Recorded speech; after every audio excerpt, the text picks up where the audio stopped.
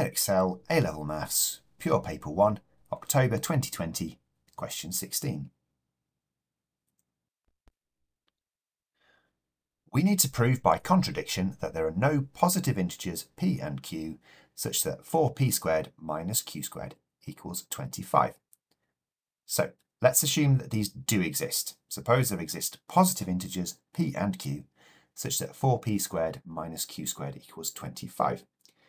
Now the left-hand side of our equation is the difference of two squares. So let's separate that out. We'll get 2p minus q times 2p plus q equals 25.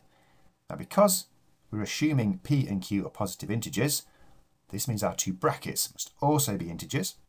Well, there's only two pairs of integers that will multiply together to give 25. So either 2p plus q is 25, and 2p minus q is 1. Note that we can't have the 25 and the 1 the other way round because q is a positive integer. So 2p plus q has to be the larger of the two numbers. Our second case is that both brackets are equal to 5. So let's look at these separately. Case 1, 2p plus q equals 25 and 2p minus q equals 1.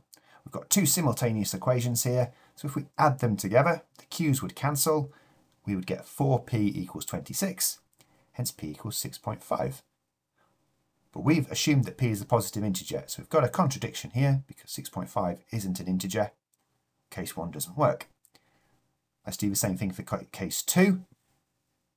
Both of them are equal to 5. Again, if we add our simultaneous equations together, we get that 4p equals 10 and p equals 2.5.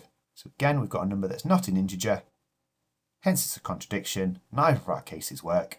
Therefore, there are no integers p and q such that 4p squared minus q squared equals 25. If you've enjoyed this video, remember to subscribe to the Doing Maths channel to keep up to date with all the latest releases.